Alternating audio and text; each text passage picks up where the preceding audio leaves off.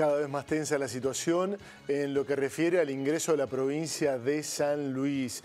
Nuevamente, bueno, vecinos eh, de la zona del acceso por la Ruta 7 volvieron a movilizarse. Bueno, en este caso, momentos de tensión también se vivieron en este lugar. Eh, ustedes saben que están reclamando por una situación absolutamente irregular que se da por allí. Todo lo que valga para protegerse del coronavirus está bien. Esto es vulnerar los derechos de los ciudadanos y sumarles más problemas a la gente. ¿eh? Lo hemos dicho desde el día cero. Bueno, ayer realizaron asambleas, se movilizaron también por la Ruta 30.